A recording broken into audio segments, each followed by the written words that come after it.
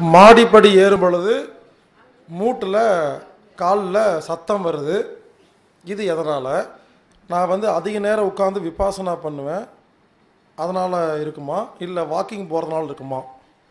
Walking போகிறதுனால இல்லை உட்காரனாலையும் இல்லை. மூட்டுக்கு பயிற்சி கொடுக்காதனால நீங்கள் உட்காந்துருக்கீங்க நடக்கிறீங்க அதெல்லாம் இல்லை. நடக்கும்போது சுற்றிட்டு நடப்போம். இல்லை. நம்ம மூட்டு பயிற்சி சொல்லி கொடுத்தோம் இல்லைங்களா? மூட்டை வலது பக்கம் பத்து முறை இடது பக்கம் பத்து முறை சுற்றுறது இந்த மூட்டு பயிற்சியை இப்படி செஞ்சால் தான் சரியாக போகும்.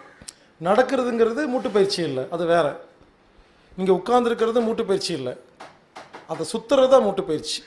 அப்போ வலது பக்கம் இடது பக்கம் சுற்றிட்டிங்கன்னா மூட்டு சரியாயிரும். ஆனால் இது எக்ஸ்டர்னல் உள்ளுக்குள்ளே தரணுமா?